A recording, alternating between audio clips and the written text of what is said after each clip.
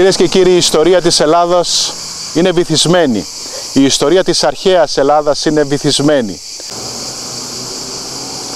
Ούτως ή άλλως η στάθμη της θάλασσας του Αιγαίου και του Ιωνίου, κυρίως του Αιγαίου, μας έχει παίξει παράξενα παιχνίδια.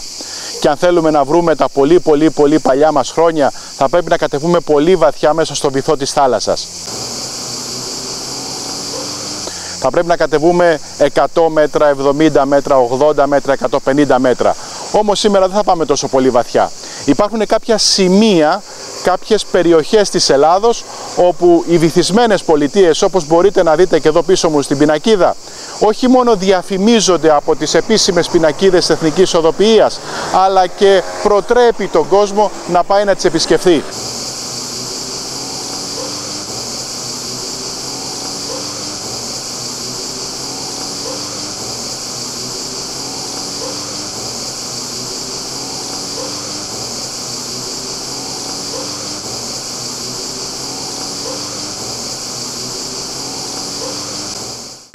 Μια τέτοια πινακίδα λοιπόν είναι αυτή που βλέπετε εδώ πέρα, η οποία βρίσκεται στην αρχαία Επίδαυρο. Εδώ θα δούμε την βυθισμένη Ατλαντίδα της Αργολίδος τη λεγόμενη. Σε πολύ λίγο χρονικό διάστημα, σε πολύ λίγα μέτρα από εδώ πέρα που βρίσκομαι, θα βρεθούμε στο βυθό της θάλασσας όπου μας περιμένει μια βυθισμένη αρχαία ελληνική έκπληξη.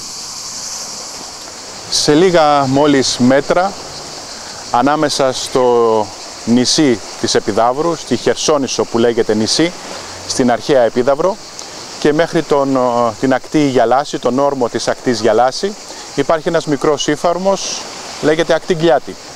Εδώ λοιπόν υπάρχει η Ατλαντίδα της Αργολίδος.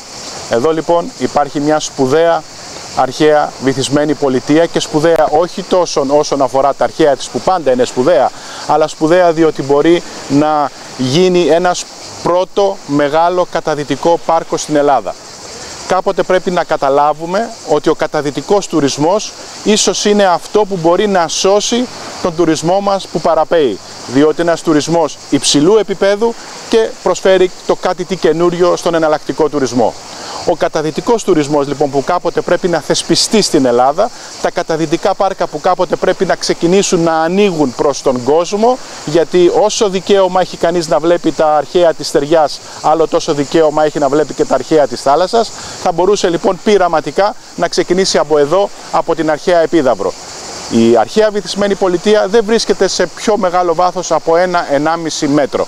Σε λίγο θα τη δείτε στην τηλεόραση και θα καταλάβετε γιατί ακριβώς σας μιλάω.